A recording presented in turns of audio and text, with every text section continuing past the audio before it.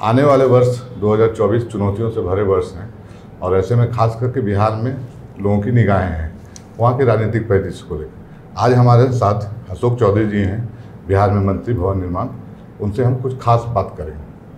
आपका स्वागत है चौधरी। थैंक यू पहला सवाल ये है कि आप बहुत ही चुनौती भरे प्रदेश में प्रभारी बने जहाँ जदयू की स्थिति आपसे छिपी हुई नहीं क्या देखते हैं? संगठन का क्या भविष्य हैं? देखिए, ऐसा है कि जब तक मज़बूत चुनौती नहीं हो तो लड़ाई लड़ने में मज़ा नहीं आता है। और जब नेता ने हमको यहाँ पर भेजा है तो कुछ सोच समझ के भेजा होगा। और हम ये मानते हैं कि अभी भी झारखंड में स्टिल जदयू के लिए बहुत पोटेंशियल है। और अगर हम लोग सिस्टमेटिक ढंग से अगर काम करें वेल ऑर्गेनाइज्ड होकर के काम करें तो पार्टी का एक अच्छा परिणाम यहाँ पर निकल करके आएगा। एक दौर था जब यहाँ समता पार्टी से लेकर के जदयू तक का जो कार्यकाल है, और नीतीश जी और लालू जी जैसे नेताओं का एक जनाधार था। राजद भी यहाँ पाँच सीटों के साथ थी राजद भी आज सिमट गई एक सीट पर है। तो जो आपके साथ गठबंधन के दो दल हैं मतलब आप और राजद और आप तो दोनों दलों की संभावनाएँ यहाँ नहीं दिख रही, और चुनौतियाँ आपको भाजपा जैसे दल से है। देखिए, ऐसा है कि जब आप संगठन पर अच्छी तरह से काम जब कर लेते हैं और संगठन को आप धारदार बना लेते हैं तो हम समझते हैं तब आप किसी भी चुनौतियों का सामना करके राजनीतिक रूप से संभव हो पाते हैं। क्योंकि जब आपकी संगठन क्षमता बढ़ेगी तो नेचुरली आपका पेनिट्रेशन भी नीचे में बढ़ेगा। तो हम समझते हैं कि जितना संगठन पर विगत कुछ वर्षों में ध्यान देना चाहिए था। उस तरह का ध्यान झारखंड में संगठन पर जदयू के द्वारा नहीं दिया गया। कारण जो भी रहा, उस पर टिक्का टिप्पणी हम नहीं करना चाहते हैं। लेकिन जो संगठन जिस तरह का धारदार होना चाहिए और जिस तरह का पोटेंशियल है, जिस तरह की उम्मीद लगती है, जिस तरह का नीतीश कुमार के प्रति लोगों क्या कि वो संभावनाएँ दिखती है, उस तरह का संगठन नहीं हो पाया। और अभी हम लोग संगठन को नए सिरे से बनाने का काम कर रहे हैं। हम समझते हैं कि रिज़ल्ट आएगा, कुछ मेहनत करना पड़ेगा। कठिनाई है, इसमें दो मत नहीं है कि हम कहते हैं कि बहुत Jharkhand is a cake walk for J D O I don't accept that but yet अगर हम काम अच्छे से करेंगे तो हमको उम्मीद दिखती है। यहाँ पर अब भाजपा से जब से आपके रिश्ते टूटे हैं, तब से आप एक विपक्षी दल के रूप में हैं, देश के स्तर पर। यहाँ पर जो विपक्ष का समीकरण है, वो कांग्रेस और जेएमएम से पूरा हो जाता है। मतलब ये दोनों पार्टियाँ मिलकर के एक मोर्चे पे हैं। वहाँ जदयू और राजद का, राजद है, लेकिन बहुत ताकत के साथ नहीं है इसका दोनों में। लेकिन जदयू का इस गठबंधन में कोई स्कोप नहीं दिखता है तो क्या करेंगे? कैसे सीट मांगेंगे? नहीं नहीं, देखिए, जब आप संगठन को अपने धारदार बनाइएगा, तब आपको दूसरी पॉलिटिकल पार्टी भी आपको रिकॉग्नाइज करेगी। अदरवाइज़ क्यों रिकॉग्नाइज करेगी? व्हाट इज़ द रीज़न अगर हमारे पास वोट बैंक नहीं होगा तो कोई भी पॉलिटिकल पार्टी या कोई भी अलायंस हमको क्यों ऐड करेगी? हमारे पास जब पाँच सात परसेंट छः परसेंट वोट बैंक होगा तभी तो कोई पॉलिटिकल पार्टी हमको ऐड करेगी। तो उस बात के लिए तो हम अपने संगठन को मज़बूत करने का प्रयास कर रहे हैं। जब हमारा संगठन इस परिस्थिति में पहुंचेगा तो निश्चित रूप से दूसरे राजनीतिक दल भी चाहेंगे कि ये लड़ करके हमारा वोट बिगाड़े नहीं हमारे साथ ऐड होकर के हमको फर्दर ऐड करे। और हमारे नेता का भी यही सोच है कि पूरे देश में विपक्षी एका के लिए वो पूरे राज्यों का उन्होंने दौरा किया। यहाँ तक कि सभी राज्यों के जो जो विपक्षी दल है, सबसे जाके खुद मिले भी हैं, लगातार दूरभाष पर भी बात किए हैं और 12 तारीख को सभी पॉलिटिकल पार्टी के लोग पटना आ भी रहे हैं। उन्होंने झारखंड आकर के मुख्यमंत्री को भी, उनसे भी बात की है। तो हमको लगता है, जब विपक्षी एका बनेगा तो या तो हम लड़ेंगे या हम सप्लीमेंट करेंगे। बट हमारे पास जब कुछ पूंजी होगी, तब तो उस पूंजी से हम सप्लीमेंट करेंगे। तो उस पूंजी को बनाने के लिए तो मेहनत कर रहे हैं झारखंड में। बारह तारीख को हम जा रहे हैं। जाएँगे? कंफर्म जो नीतीश जी से जो बातचीत हुई है। हाँ कन्फर्म क्या आज केजरीवाल जी और भगवत मान जी यहाँ झारखंड में हैं।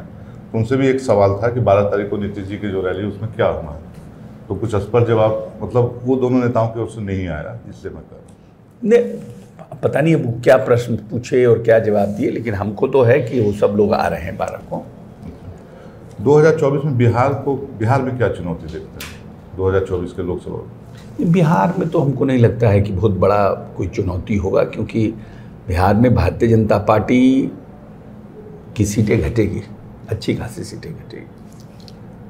और जो 2024 के लिए जो नीतीश जी मुहिम चला रहे हैं कि लोकसभा में एक विपक्षी एका हो तो जदयू कांग्रेस का नेतृत्व मानने के लिए तैयार है। नहीं, देखिए, नेतृत्व मानने के लिए तैयार है। पहले तो है कि सब लोग इकट्ठा हों, एक मानसिक रूप से तैयारी हो कि हम विपक्षी एका के रूप में हम आगे बढ़ें। उसके लिए नीतीश जी ने पूरे देश में घूम घूम कर लोगों से बातचीत की है। सब मानते हैं कि ये एक अच्छी पहल है, ये एक अच्छी मुहिम है। और अगर विपक्षी एका बनता है, एकता की बात होती है तो वो एक ऑल्टरनेटिव के रूप में देश में मजबूती के साथ आएगा। और उसी के लिए ये बारह तारीख को बैठक हो रही है। और उसमें नीतीश जी का है कि बहुत से लोगों का ये भी था कि ये थर्ड फ्रंट बने। अगर नीतीश जी का है कि नहीं मेन फ्रंट में कांग्रेस के साथ बने क्योंकि कांग्रेस का एक पैन इंडिया इम्पैक्ट है और कांग्रेस को हम साथ लेकर चलें।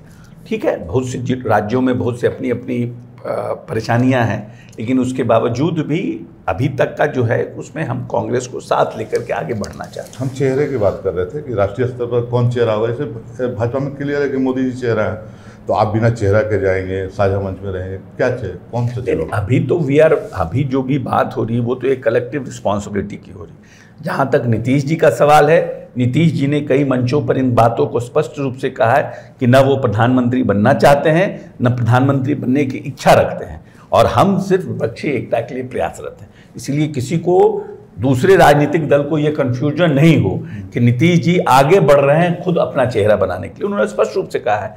तो ये बात तो स्पष्ट है कि नीतीश जी खुद न प्रधानमंत्री के उम्मीदवार हैं, न प्रधानमंत्री बनने की इच्छा रखते हैं। ये तो उन्होंने पाँच, दस बार सब लोगों को कहा है। अब है कि चेहरा कौन बनेगा? ये तो जब हम सब लोग मिलकर के बैठेंगे एक मंच पर आएँगे तब उसके बाद चेहरा भी ऐसा नहीं है कि चेहरा बनने के लिए कोई अभी जब मोदी जी ही मुख्यमंत्री प्रधानमंत्री के उम्मीदवार हुए थे तो मोदी जी का क्या क्वालिफिकेशन था? मोदी जी तीन टर्म के गुजरात के प्रधान मुख्यमंत्री थे।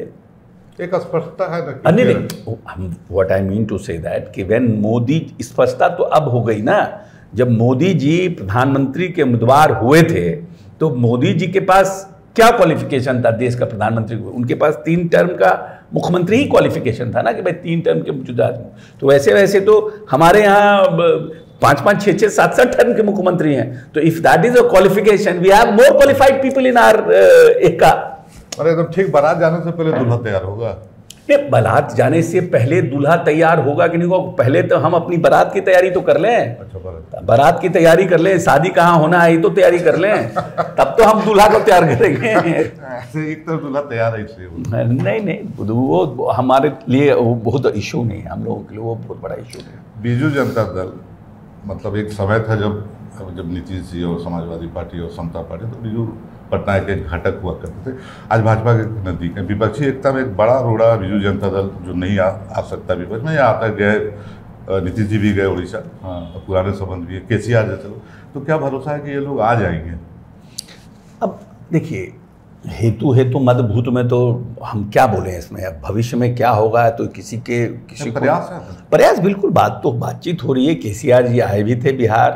उड़ीसा भी गए हैं, माननीय मुख्यमंत्री जी, नेता उड़ीसा भी गए हैं और उनसे नवीन बीजू वहाँ नवीन पटनायक जी से बात भी हुई है, इसलिए हमको लगता है रास्ता बनेगा।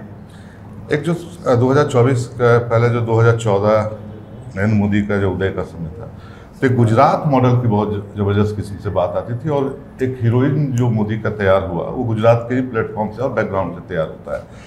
तो क्या विपक्ष में जदयू ये कोशिश नहीं करेगी कि एक ब्रांड बनाया जाए। बिहार को जिसको नीतीश जी ने तीन तीन टर्म चार चार टर्म चलाया है तो उसको उसको अब ब्रांड बनाने की कोशिश करेंगे जैसे गुजरात को ब्रांड बनाया। नहीं तो देखिए ऐसा है कि जब सभी विपक्षी दल के लोग बैठेंगे what will what will be the strategy how to go about it who will be the वो तो बैठ के डिस्कशन का पार्ट है ना कि बिहार मॉडल बनेगा कि कौन सा मॉडल बनेगा और किसको लेकर के हम कार्यक्रम लेकर के जाएँगे जिससे कि हम भारतीय जनता पार्टी को शिकस्त दे सकें, वो तो स्ट्रैटेजी बनेगी। जब सब लोग का मुँह मिल जाएगा, सब लोग एक साथ बैठ जाएँगे, ये तो एक प्रयास है ना जो हमारे नेता कर रहे हैं।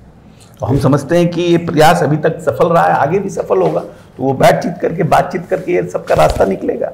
एक आखिरी सवाल है कि वर्तमान जो आने वाले जो चुनाव हैं, उसमें सबसे गंभीर चुनौती आप क्या मानते हैं? जो सबसे बड़ा हडल है विपक्ष के लिए। देखिए, विपक्ष के पास सबसे बड़ा हडल ये है कि ये जो हमारा संविधान है और हमारे जो फोर फादर्स थे, जिन लोगों ने आज़ादी की लड़ाई को मजबूती से लड़ी और उस आज़ादी की लड़ाई के बाद उन्होंने संविधान का निर्माण कराया। तो हमारे संविधान के निर्माण का जो मूल उद्देश्य था, उस उद्देश्य में साफ़ साफ़ संविधान में लिखा है चाहे वो बाबा साहब भीमराव अंबेडकर हों सब कोई मानते हैं उसको। ऐसा देश का कोई नेता नहीं है जो बाबा साहब भीमराव अंबेडकर को माइनस करके राजनीति करता हो और ये कहता हो कि बाबा साहब की बात जो है वो गलत है। महात्मा गांधी को कोई देश का ऐसा पॉलिटिकल पार्टी नहीं है जो ये मानता हो कि महात्मा गांधी की जो भूमिका रही या महात्मा गांधी के किए गए कार्य हैं और महात्मा गांधी जो बोले हुए बात हैं वो गलत है। वल्लभ भाई पटेल को पूरा देश मानता है कि इस देश के यूनिफिकेशन में उनकी महती भूमिका थी। गृह मंत्री के रूप में, देश के निर्माण के रूप में। अब्दुल कलाम आज़ाद के साथ भी यही है कि उन्होंने शिक्षा को इस देश में मज़बूत करने का कहा। कोई भी इनको डिनाई नहीं करता है।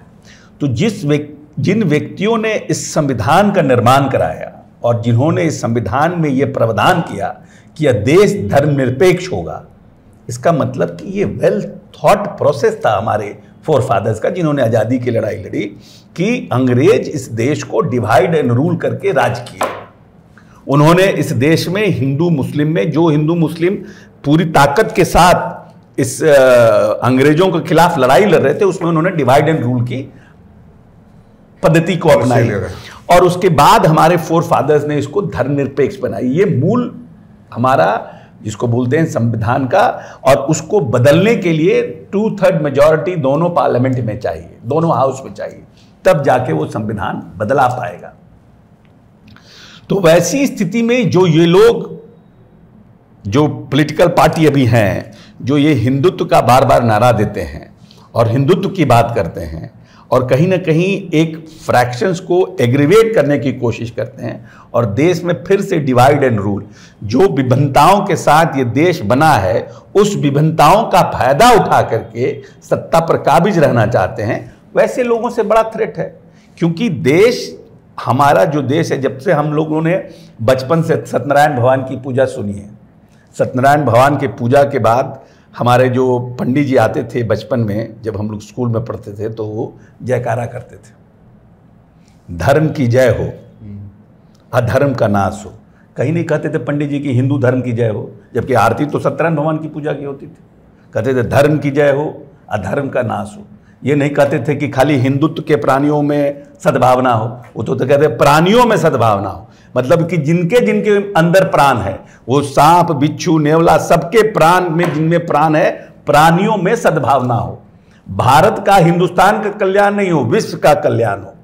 तो ये भावना है हमारी सनातन पद्धति का। लेकिन लोग धर्म तो अपनाने की चीज़ है ना। आज कोई हिंदू है कल कोई मुस्लिम हो सकता है। कल कोई मुस्लिम है कल क्रिश्चियन हो सकता है कोई क्रिश्चियन हिंदू हो सकता है। हाफ़ हार्टेडली कोई कहीं नहीं कॉन्स्टिट्यूशन में लिखा है कि आप आधा दिन तक रहिए चालीस वर्ष तक आप हिंदू रहिए, आप इकतालीसवें वर्ष आप मुस्लिम बन सकते हैं, इकतालीस वर्ष हिंदू रहने के बाद आप क्रिश्चियन बन सकते हैं। धर्म अपनाने की चीज़ है, धर्म थोपने की चीज़ नहीं है।